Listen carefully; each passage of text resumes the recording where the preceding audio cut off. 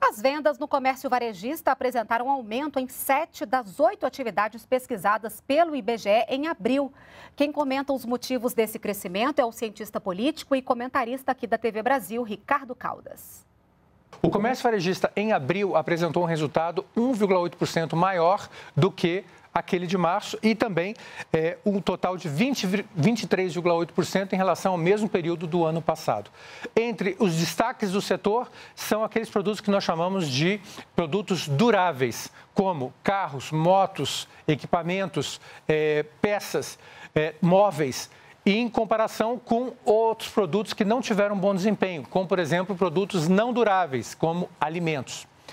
Qual a razão desse crescimento agora esse ano e justamente do setor durável e do decréscimo do setor não durável alimentos, já que é um produto que todos consomem o tempo todo?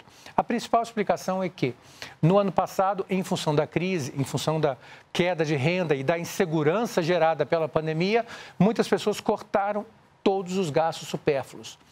Roupas, carros, troca de carro, moto, peças, tudo isso foi é, adiado. E as famílias se concentraram na compra de bens essenciais, ou seja, produtos não duráveis como alimentos. Já nesse ano, com a perspectiva de crescimento do PIB, com a perspectiva da retomada da economia, as famílias, ou seja, os consumidores, se sentiram mais seguros para voltar às compras e estão comprando não apenas produtos semiduráveis, como roupas, é, perfumaria, etc., mas também produtos duráveis, como móveis, automóveis, carros, né, motos e equipamentos para esses é, veículos.